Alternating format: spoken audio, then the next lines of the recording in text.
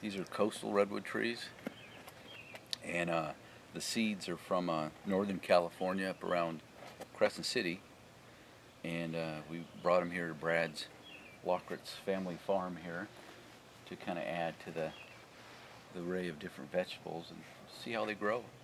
Uh, the, the seeds are actually from an old growth forest that's you know well beyond 1200 years. The actual tree itself is probably 800 to 1200 year old tree. And so it's amazing that trees of that age, you know, 300 feet tall, can still manage to develop a cone and have seeds that are viable. And there's the result. And of course, the the challenge behind growing the tree too is collecting the seed.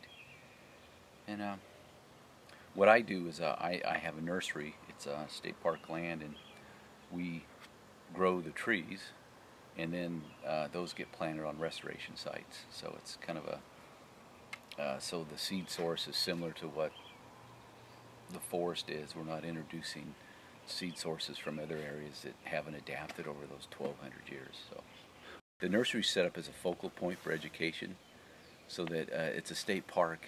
It's not like you're parked in here. It's, it's open to the public 24/7.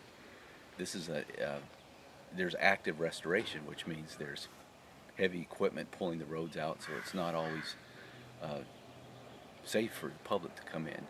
So what I try to do is through the nursery as a focal point education, I take people out into those projects and um, educate them on what's going on. What are the So- parts? What are the elements of that forest? So if I were, if I was to, sh- you know, walk up to an our old growth forest, you know, on, on our tour, within, uh, within a quarter mile, there's an old growth forest right there, and we look at what an old growth forest is. It's not one 12, 800 to 1200 year old redwood tree. It's the whole forest. It's the whole picture. I like to use picture. I don't know why that stuck, but it is. If you start erasing things, you're gonna, and erasing things would be not only one old growth tree of redwood. There's also old growth uh, western red cedar, Port Orford cedar, uh, different species of conifers, and they're all part of that community. And that's and then as you work down, there's big leaf maple, there's alders, and if you work down, there's um, huckleberries and shrubs. And if you work down, there's down logs that have been on the ground for hundreds of years. And if you work down, there's this the forest soil, and below the soil is all the microorganisms. That's the forest community. So you ask what trees we grow. I like to say, well, this these are the trees we grow because that's what's growing in your old growth community. So when we walk into the nursery, all we have trees of all those different species that are in the old growth forest. So we have a young old growth forest.